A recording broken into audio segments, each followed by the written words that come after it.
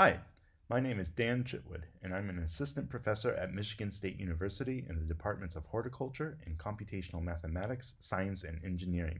Welcome to the second video tutorial of Plants and Python. Today, we'll be learning about slicing and different data types and how to convert between them. The Python learning objectives for today are using numbers with lists, that slicing can access list elements with a start, end, and step value, that the slicing start is inclusive and the slicing end is not. There are different data types in Python, like strings, integers, and floats. You can use the type function to check which data type that you are using. And you can convert between different types of data using the str, int, and float functions. The plant learning objectives are the golden angle is an irrational number. It's derived from the Fibonacci sequence. And this underlies the spiral arrangement of leaves and other organs in plants known as phyllotaxy, and we'll be learning about that later in the course. The first topic is using lists with numbers and slicing. Remember that lists can include any data type, even other lists.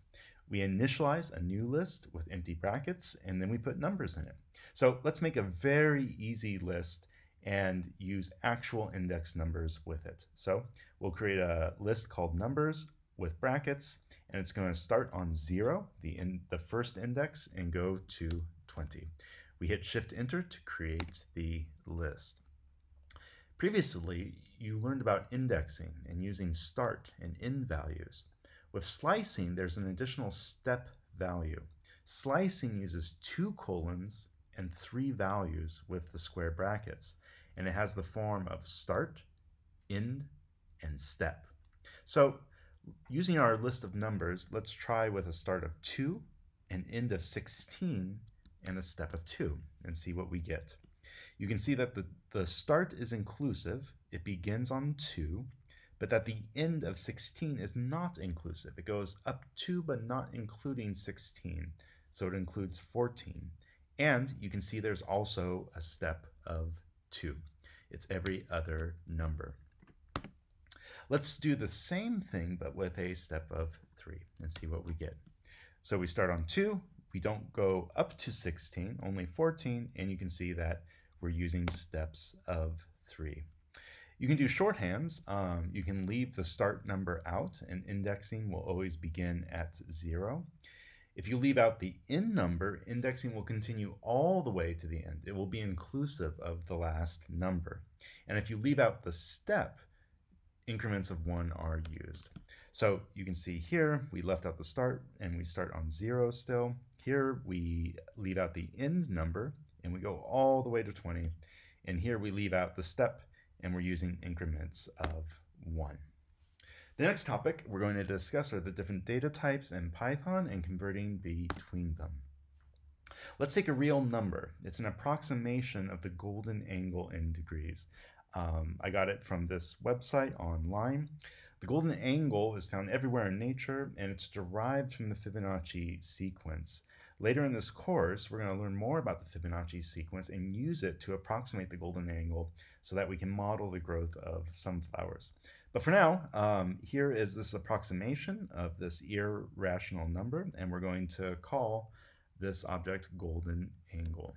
So we hit Shift Enter to create it. We can ask, remember, what data type we're using, using the type function. And so if we do this with the golden angle, we see that we get this answer back called float. So there are three major data types in Python that we'll be working with. You've already seen strings in the previous video. These are collections of characters, but there are two major numerical types. They are floats and integers, and the difference is very simple. Uh, floats have decimals and integers don't. You can convert data into different types in Python using the float, int, and str functions. So for example, if you convert the golden angle to an integer, it becomes a whole number then. So we take golden angle, we put it in the int function, and we use print, and we get back just 137 with no decimal places. You can convert an integer back to a float, but it will lose the decimal information. So again, if we convert golden angle, an irrational number, first into an integer, just 137, and then we convert this 137 integer into a float, the answer we get back is a decimal, but it's 0.0 because we lost all the decimal information when we use that integer function.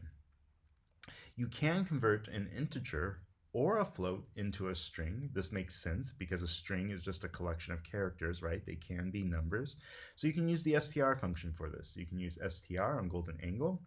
We'll create a string of the golden angle and we can print it out and see what type it is. And you can see that when we print out the string golden angle, it looks just like the number. Uh, we really can't tell the difference, but when we use type, we can see indeed it is a string. You can churn a string of numbers into actual numbers. So for example, if you have the string of golden angle numbers and turn it into a float, um, it will be a number, a float but you cannot turn characters into numbers though. So uh, remember, if we use quotation marks, that creates a true string. Um, and these are letters, so it's hard to imagine how you would convert these into a number. But let's take the uh, string of letters, golden angle, and try to convert it into a float. And if we do that, we get an error, and it says you cannot convert a string to a float, which we might have predicted. So what did we learn? Uh, we learned uh, that you can use numbers with lists, just like we used strings in the previous lesson. Slicing can access list elements, not only with start and end, but also with a step value. The slicing start, just like indexing, is inclusive. The slicing end is not. The major data types in Python we will be using are strings, integers, and floats. You can check what data type you are using with the type function, and you can convert between different data types using the str, int, and float functions. Again, um, the plant learning objective was about the golden angle and irrational number, but later in this course we will be calculating uh, the Fibonacci sequence and the golden angle number ourselves to model sunflowers. Thank you.